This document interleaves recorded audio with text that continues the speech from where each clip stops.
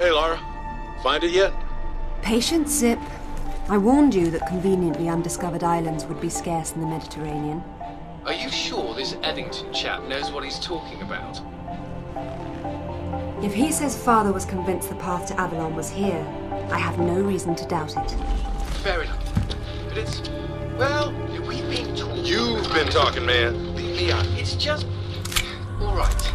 Maybe Avalon is real, but just because some bad woman tells you your your mother didn't die after all. I mean, look, I, I don't want to seem heartless, but this this idea of your mum living in some some Celtic underworld, it's a it's a little bit mental, isn't it? I have no illusions that my mother is holding court in some mythical paradise, Alister. I only want the truth, whatever it may be. I'll ring you later.